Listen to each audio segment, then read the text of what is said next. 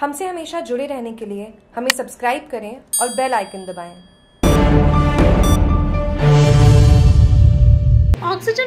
लिए किया भूमि पूजन। राजस्थान सरकार के आदेश अनुसार कोविड 19 महामारी के लिए राज्य के चिकित्सालय में बनने वाले ऑक्सीजन प्लांट के लिए नगर पालिका द्वारा जारी इकसठ लाख साठ हज़ार की राशि से स्थापित होने वाला पीएसए ऑक्सीजन प्लांट के लिए शुक्रवार को सोजत विधायिका शोभा चौहान, नगर पालिका अध्यक्ष मंजू, जुगल किशोर निकुम नगर पालिका ईओ विक्रम विशोई की उपस्थिति में सोजत अस्पताल परिसर में भूमि पूजन किया गया। इस दौरान उपाध्यक्ष रामलाल सांकला पूर्व नगर पालिका अध्यक्ष मोहनलाल टांग, डॉक्टर राजेश गुप्ता, नर्सिंग अध्यक्ष राधेश्याम गर्ग, भाजपा जिला उपाध्यक्ष पंकज त्रिवेदी,